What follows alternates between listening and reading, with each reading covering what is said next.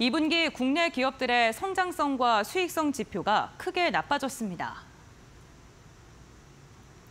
한국은행에 따르면 외부감사 대상 법인 기업 22,962개의 2분기 매출은 작년 같은 기간보다 4.3% 줄었습니다. 매출이 전년 동기 대비 뒷걸음질 친 것은 2020년 4분기 이후 처음이며 감소율은 2020년 2분기 이후 가장 컸습니다.